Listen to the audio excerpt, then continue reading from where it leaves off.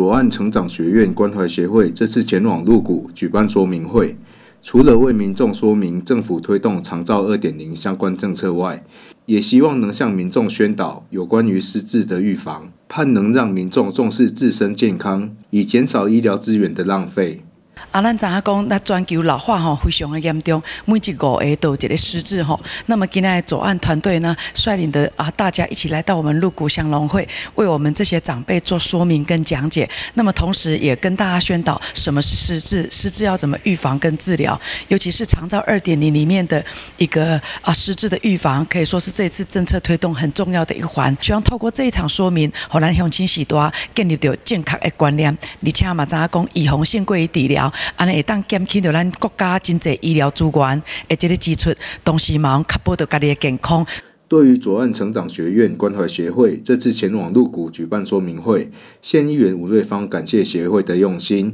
吴议员也希望长照二点零的推动能帮助到更多的长辈，让他们能受到更妥善的照顾。呃，对于迄个左岸的成长学员关怀协会吼，诶，即届伫咱的。来咱的鹿谷乡吼举办迄个说明会吼，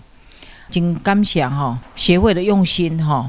啊那希望讲咱的长照二点零的推动吼，会当帮助咱的较侪的长辈吼，互因会当受到迄个妥善的照顾吼。议长何胜峰感谢左岸成长学院关怀协会长期致力于社会服务的用心，也期许更多的民众能一同响应，一起来发挥爱心，帮助社会。记者卢宇凯、陆谷香采访报道。